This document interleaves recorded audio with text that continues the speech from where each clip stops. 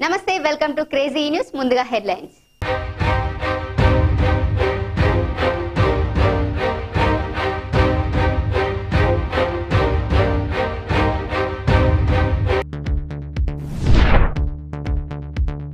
వారి ఖాతాల్లోకి ఆరు వందల తొంభై నాలుగు కోట్లు విద్యా దీవెన రెండో విడత నిధులు విడుదల.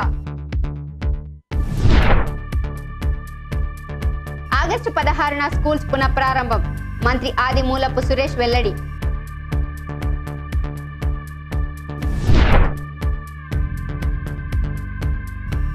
అసోం మిజోరం సరిహద్దు ఘర్షణ ఎంపీ పాత్రపై దర్యాప్తు.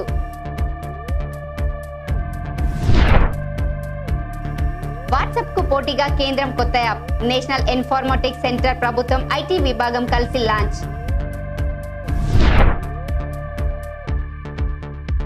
వైద్య కోర్సులో రిజర్వేషన్లు ఖరారు కేంద్రం కీలక నిర్ణయం.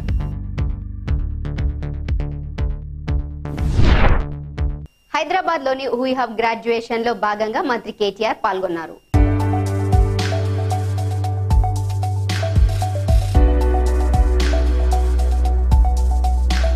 సిద్దిపేట జిల్లాలో గిరిక తాటి చెట్ల పంపిణీ కార్యక్రమం చేపట్టి నాటినందుకు సిద్దిపేట జిల్లాలో నీరా కేంద్రం ఏర్పాటు కృషి చేస్తానని హామీ ఇచ్చిన గౌరవనీయులు మంత్రి తన్నీరు హరీష్ రావు గారికి హృదయపూర్వక అభినందనలు తెలియజేస్తున్నామని తెలంగాణ గౌడ సంక్షేమ సంఘం రాష్ట్ర కమిటీ తరపున పేర్కొన్నారు. ఎక్కడ కూడా ప్రదేశం పెట్టలేదు. ఇవాళ మరి అన్ని రాష్ట్రాల నుంచి వచ్చి తెలంగాణ రాష్ట్రం ఎట్లా పోతుందని ఏ విధంగా ముందుకు పోతుంది పూర్తయ్యేది కాదు.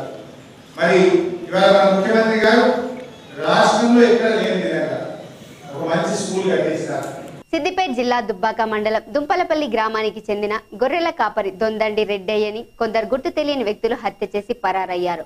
సంఘటన స్థలానికి చేరుకున్న పోలీసులు కేసు నమోదు చేసి దర్యాప్తు చేపడుతున్నారు. గొర్రెలున్నాయి ఇవాళ అదే అసలు ఇవ్వనే కదా ఇంకెప్పుడు ఒకవేళ వస్తే ఇట్లా.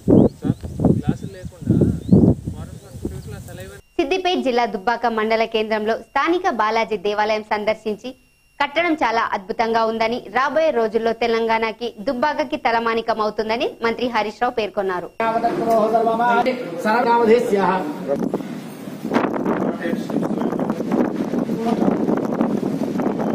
ఈ రోజు టీఆర్ఎస్ సీనియర్ నాయకులు కలిగేటి లక్ష్మణ్ టీఆర్ఎస్ పార్టీ మండల ఎస్ఎస్ఎల్ అధ్యక్షుడు తడగొండ రాజుగార్ల ఆధ్వర్యంలో రామడుగు మండల కేంద్రంలోని అంబేద్కర్ చౌరస్తా వద్ద దళిత వ్యతిరేకి దళిత ద్రోహి అయినటువంటి మాజీ మంత్రి వర్యులు ఈటల రాజేందర్ గారి దిష్టిబొమ్మను దహనం చేయడం జరిగింది. దళితులతో చెలగాటమా? దళితులతో చెలగాటమా? దళితులతో చెలగాటమా? జై తెలంగాణ! ఇవి ఇప్పటి వరకున్న అప్డేట్స్ మరి అన్ని అప్డేట్స్ కోసం చూస్తూనే ఉండండి. Crazy News.